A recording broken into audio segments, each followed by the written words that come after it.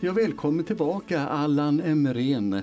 Det är du som inte skickar vykort som julhälsning utan du skickar en förklaring vad hela julen betyder. Julens föd Jesu födelse och Betlehemstjärnan och allt detta. I förra programmet talade vi mycket om nya tankar som jag inte har tagit del av och som jag tror många också inte kände till. Nu får du göra en liten kort resumé, sen går vi vidare i din förklaring. Mm. Ja, det, här, det var, har varit en väldigt spännande resa. Ja. Jag har jobbat med det här från och till under flera år eh, och hittat den ena pusselbiten efter den andra. Eh, och det har förvånat mig väldigt mycket, en del saker. Mm. Parteriket hade jag aldrig hört talas om tidigare annat än som att det nämns parter i apostlagärningarna. Ja. När anden utgöts så står det att vi hör vårt eget språk, vare sig vi är parter eller meder. Men det var bara ett ord för mig, Ja. ända tills jag började rota i det här och fann att där var en stormakt lika stor som, som romarriket. Ja. Och att kungen där uppenbarligen skickade ut de vise männen för att komma på god fot. De hade, gjort, de hade erövrat Palestina tidigare men blivit utjagade av Herodes. Och Herodes hade låtit utnämna sig själv till Messias. Och blev förstås rasande när den riktiga Messias dök upp och insåg att om, om han lyckades eh, ta koll på den riktiga Messias, då kanske Gud skulle bli tvungen att välja honom själv. Mm. Och han hade gjort arbeten på templet. Han hade eh, gjort en del andra saker som skulle tyda på att han var Messias. Han hade utvidgat området som han eh, härskade över till att bli i stort sett samma rike som kung David. Han hade återupprättat kung Davids rike. Och det hade inte funnits en kung i Jerusalem på 500 år när Herodes kom dit. Så det var alltså Herodes som räknade med att han skulle vara Messias? Han räknar med det. Han hade drivit ut parterna och det var första steget i Messias och så återupprättade han Davids rike. Ja. Som profetiorna sa att, han skulle göra, Ja, att Messias ja. skulle göra. Men en annan sak som har förvånat mig väldigt mycket när jag har läst evangelierna genom åren, det är att det har antytts här och där att Jesu familj var ganska rika. Eh, När Jesus talar i liknelser så talar han väldigt ofta om mycket rika människor och han var väl insatt i hur man förvaltar förmögenheter. Eh, Det kan man inte vänta sig att en enkel snickare ska vara. Och hur han, han fått den kunskapen. Eh, Han var också eh, uppenbarligen hade han med sig mycket pengar när de var ute och vandrade i, i, på predikoresorna. Mm. Om man kommer ihåg till exempel brödundret. Ja. Eh, Jesus eh, sa till lärjungarna eh, Det var lärjungarna som sa till Jesus först. De här har lyssnat på dig hela dagen nu. Vi måste se till att skicka iväg dem ut till byarna så att de kan köpa mat. Det var 5 000 personer. Mm. Då sa Jesus, ni ska ge dem mat. Jaha, sa de. Ska vi köpa bröd för 200 denarer? Det är mycket pengar. Det är 200. mycket pengar. Hur mycket pengar är det I ungefär? dagens penningvärde så svarar det mot ungefär 100 000 kronor. Jaha. Och det var alltså vad de gick omkring med i portmonnän. Oj. Inte underligt att Judas Iskariot, att han frestades att eh, förskingra av den kassan. Mm. Eh, Och allt det här kommer ifrån guldet och myrran som de vise männen hade med sig. Eh, Minst, Jaha, det är orsaken till att eh, du tror att de hade mycket pengar? ja, Partnerrikets kung hade ju skickat de vise männen för att komma på god fot med den nyfödde Messias, världshärskaren. Och då måste man ha med sig rejäla gåvor. För att Herodes hade klätt templet med guldplattor. Mm. Så att komma dit med några guldkorn, det hade knappast imponerat på Herodes. Nej. Och man trodde ju i Parteriket att Messias skulle vara ättling till Herodes. Så det gällde att ha med sig rejäla gåvor. De här vise männen var säkert ute för att utverka en, ett statsbesök. Men de måste ha med sig tillräckligt mycket för att imponera. Så 10 eller 100 kilo guld bör de ha haft med sig. Oh. Och myrran som de hade med sig var mera värdefull än guldet. Så där, man kan räkna med att när Josef och Maria flydde så hade de eh, med sig en förmögenhet som bör ha legat någonstans mellan 10 och 100 miljoner kronor i vårt penningvärde. Mm. Och sen är det mycket troligt när de kom tillbaka till Nasaret att eh, Josef investerade det i fastigheter. Eh, och därav kan man förstå hur Jesus var så insatt i hur man byggde vingårdar och han kunde beräkna hur, hur mycket det kostade att bygga ett torn och allt sånt där som han beskriver. Jaha, ja, ja, det är ju nya tankar här som ja, du för fram, men eh, intressanta. Ja, mm. okej. Okay. Och de här, eh, det jag inte nämnde nu i resumén, ja. det var ju det här med stjärnan. Ja. Eh, när de vise männen eh, hade beräknat flera år i förväg att här skulle födas en kung mm. genom att det var en stor konjunktion mellan Jupiter och Saturnus den 29 september år minus, fy, minus 7. Ja. Då, det var då förberedelserna för expeditionen startades. Och mm. sen såg de till att komma fram den 4 december och gav sig uppenbarligen iväg redan samma dag till Betlehem. Ja. Och, och, vi, har, vi har ju datumet 29 september från en källa till, nämligen från eh, födelsen av Sakarias eh, son ja. Johannes.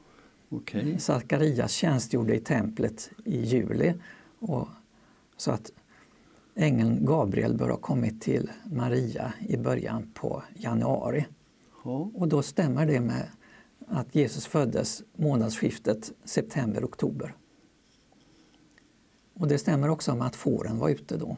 Ja, ja vad, vad, vad säger du mer om det här? Ja, om vi tittar på de här datumen.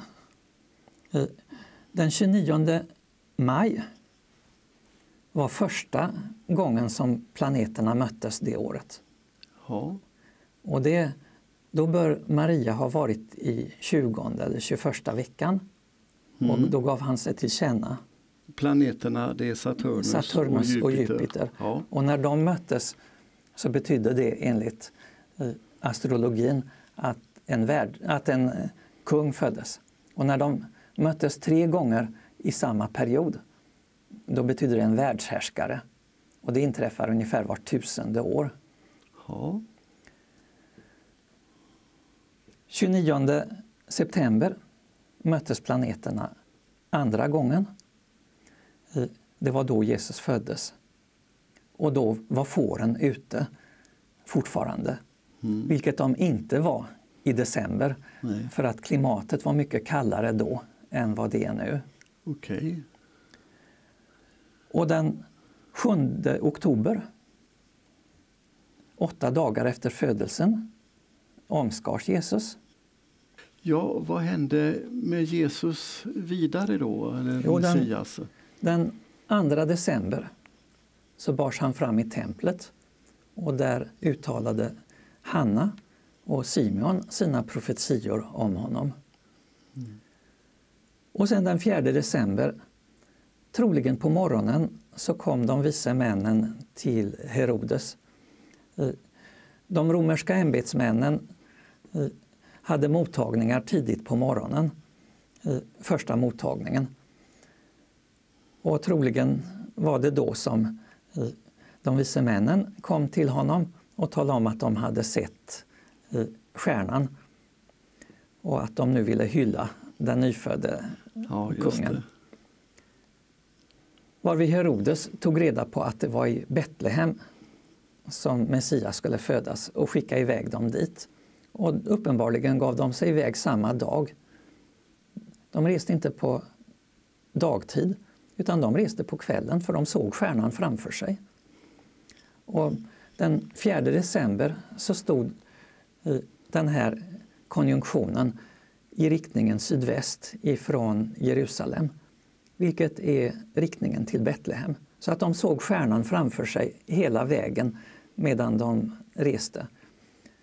Sen, stjärnan var på väg ner, så att antagligen så gick den ner över ett bestämt hus som de då kom in i. För då bodde inte Josef och Maria i stallet längre.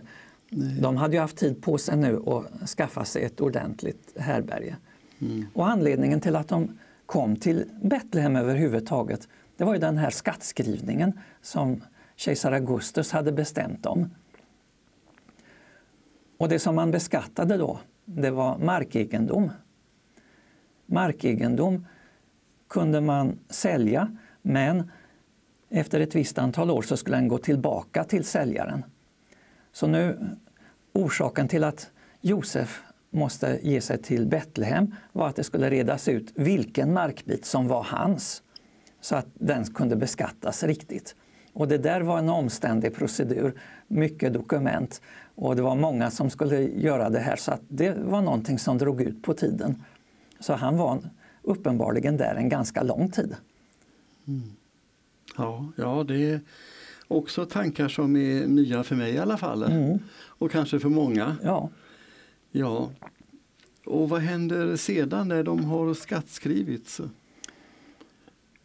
Ja, hur länge det pågick det vet vi inte, men de var fortfarande kvar den 4 december. Och så kom de vise männen och gav sina gåvor, som var väldigt stora ju. Mm. Och de blev rika. Men samtidigt så fick de reda på att Herodes planerade att försöka döda Jesus, så att de flydde. Och de vise männen, de hade nog haft sina farhågor.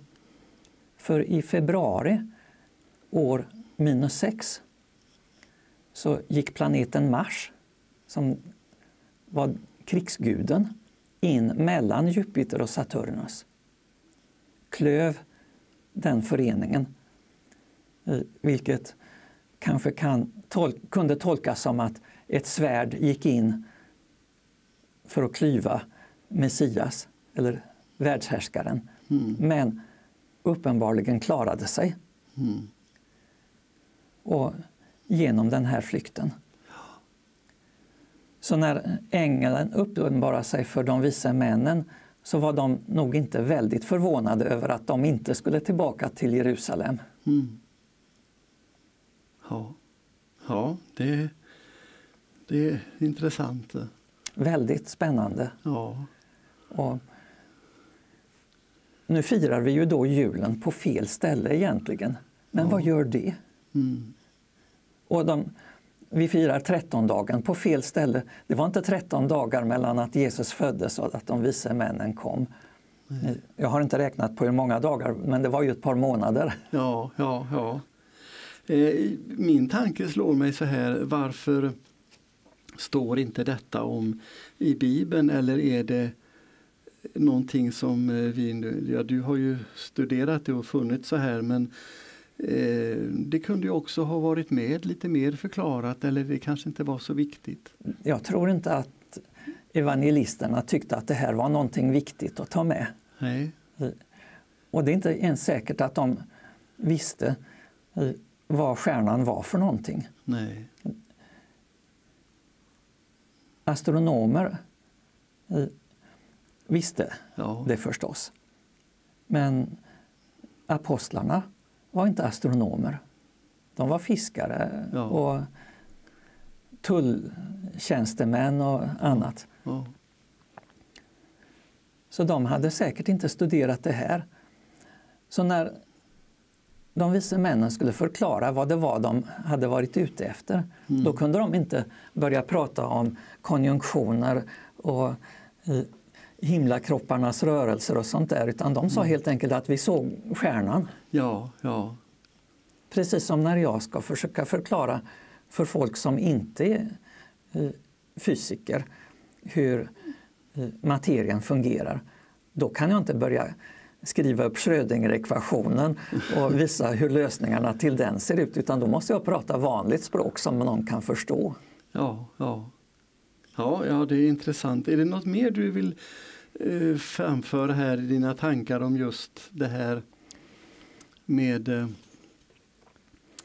eh, julens evangelium så att säga? Jag tror väl jag har fått med det viktiga.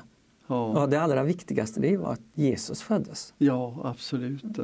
Och när han sen föddes, det spelar inte så stor roll. Nej, Jesus har kommit till världen och var och en som tror på honom ska inte förgås Nej. utan ha evigt liv. ja, precis. Du har inte hört någon annan som har fått fram sådana här uppgifter utan Jo, de, eh, bitar av det här det har du eh, är många som har Ja. hittat. Redan Kepler eh, kom fram till att det var den här konjunktionen mellan Jupiter och Saturnus. eh, du håller på att skriva en bok Ja. och det här ska ingå i den boken eller? Ja visst, Eh, jag har ju skrivit en bok förut Ja, Eh, Och nu håller jag på med andra boken i den serien. Den första boken handlar om universum och hur vi kan se i universum att Gud finns och har en avsikt. ja, Den andra boken ska handla om Bibeln och vetenskapen. Vad vi kan hitta vetenskapligt som stöder Bibeln.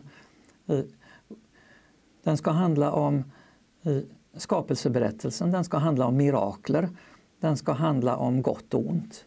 ja.